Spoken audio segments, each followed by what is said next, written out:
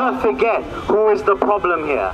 And so when they come and say, well, look, America's the one who's going to help you in this, then we have to remind them, go back to the beginning of the war on terror. When we were investigating cases of individuals being put on rendition flights to Syria, where they had the soles of their feet beaten by the Syrian regime the moment they arrived in prison.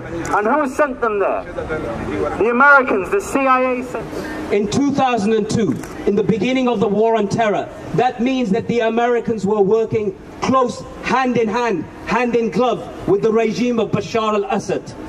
My colleague Asim Qureshi has already said the cases of several, several individuals who were extraordinarily renditioned by the US regime, by the US government, to the regime of Bashar al-Assad. Takbir!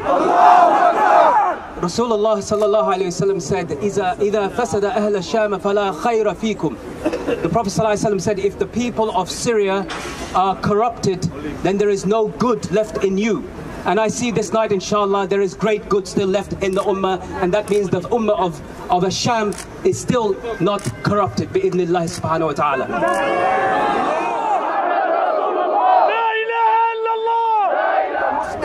This gathering today, in a matter of few hours, hundreds of brothers and sisters coming together is a sign of positivity and a revival and a sign of victory from Allah Jalla wa Ala.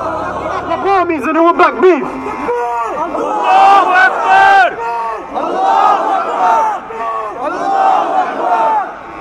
We need a Khalif who will clear up these streets and who will smack up armies and who will back beef.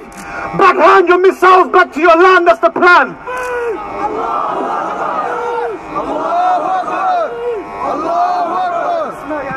Backhand your missiles back to your land, that's the plan. World domination at hand, we can expand and take out these fools. ولو كره المشركون depend on you, Allah. We believe in you, Allah. Victory comes from you, Allah, not for the UN, not from Turkish government, not from anybody.